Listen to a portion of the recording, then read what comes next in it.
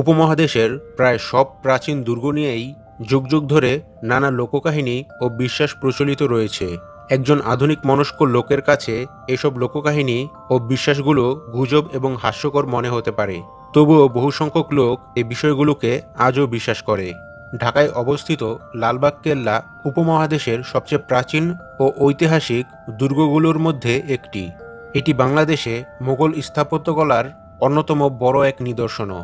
লালবাগের দুর্গ বা কেল্লায় দেখার মতো অনেক কিছু রয়েছে। তবে দর্শনার্থীদের আগ্রহ সবচেয়ে বেশি যে জিনিসটিকে ঘিরে, তা হলো এর রহস্যময় গোপন সুড়ঙ্গ কেল্লার এই গোপন সুড়ঙ্গটি প্রবেশ দর্শনার্থীদের জন্য সম্পূর্ণ নিষিদ্ধ। আর আমরা সবাই জানি, নিষিদ্ধ জিনিসের প্রতি আকৃষ্ট হওয়া মানুষের প্রকৃতি।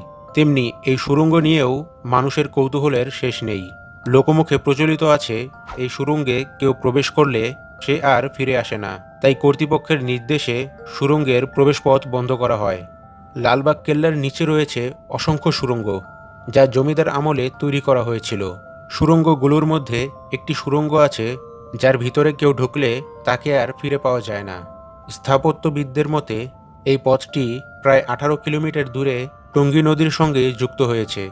যেহেতু সুরঙ্গ পথের রহস্য উদ্ঘাটনের জন্য আজ পর্যন্ত কোনো প্রত্নতাত্ত্বিক খনন কাজ হয়নি, তাই এটি নিয়ে নানা কল্পকাহিনী চালু আছে।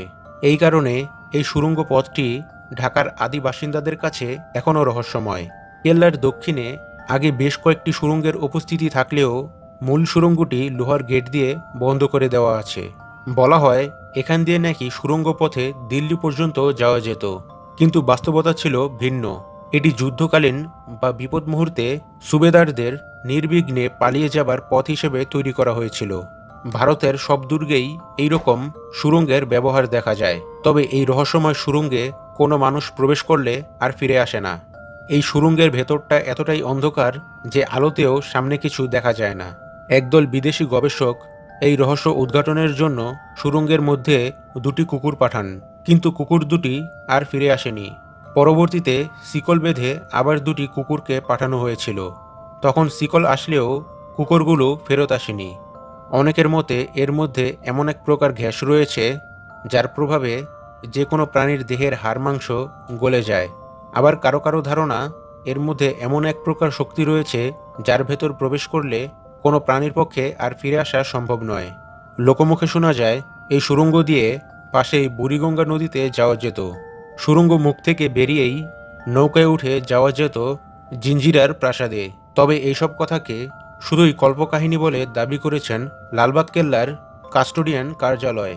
কারণ এইসব কথার কোনো সুস্পষ্ট প্রমাণ পাওয়া যায়নি।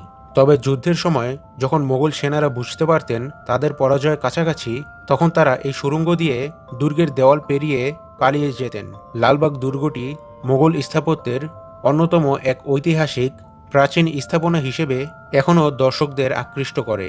প্রতিদিন দেশ বিদেশের বহু দর্শক এটি দেখতে আসেন। তারা এই দুর্গটির নির্মাণশৈলী ও কারুকার্য দেখে মুগ্ধ হন। বন্ধুরা, এই ভিডিওটি ভালো লেগে থাকলে অবশ্যই একটি লাইক দিন এবং চ্যানেলটি সাবস্ক্রাইব করে নোটিফিকেশন বেল আইকনটি প্রেস করুন।